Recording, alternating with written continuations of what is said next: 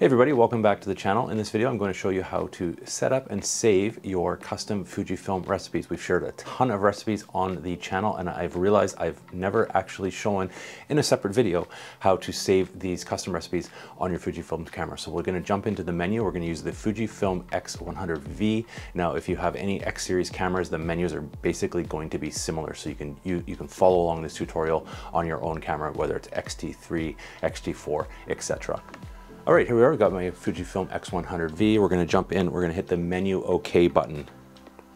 This is where all our settings are going to be. Uh, this was where we will adjust that. But first, let's just go back, hit the display back button.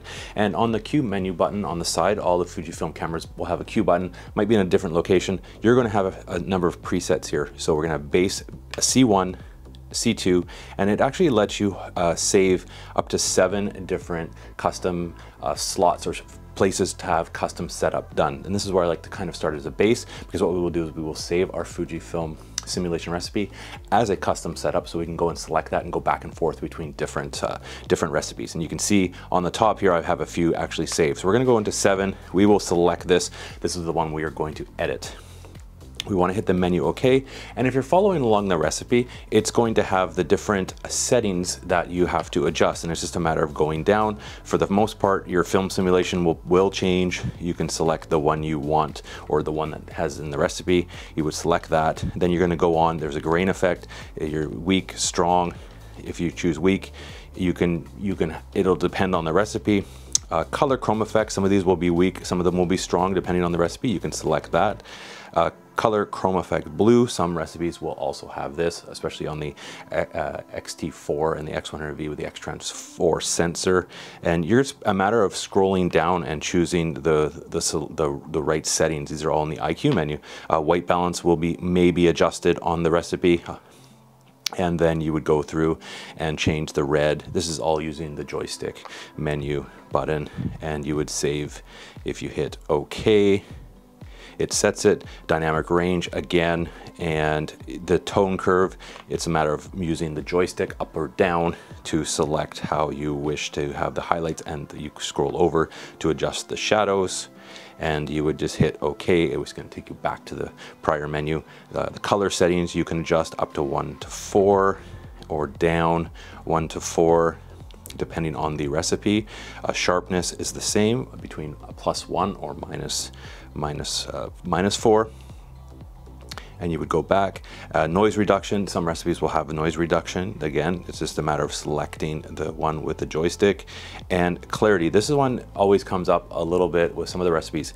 If your recipe has clarity, as soon as you turn that on and adjust that, when you take your picture, when it's saving the JPEG, there will be, there will be a bit of a delay in processing the JPEG. So it will, it will definitely slow down your shooting a little bit and you won't be able to use, for example, the the continuous shutter speed uh, successfully with, with any kind of clarity setup? That's a question that a lot of people ask and go down. And that's basically the last one. Now, when you have your recipe ready to go, we want to save this and have it locked into the camera. So if we are able, you know, if we turn off the camera or make any kind of changes, we want to go back to this recipe.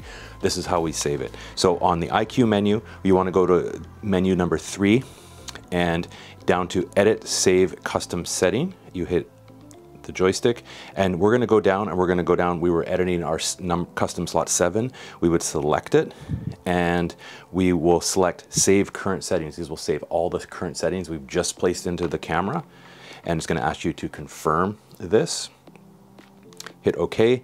Now that is all saved. Now what we can go back now and do is select it again and you can edit the custom name.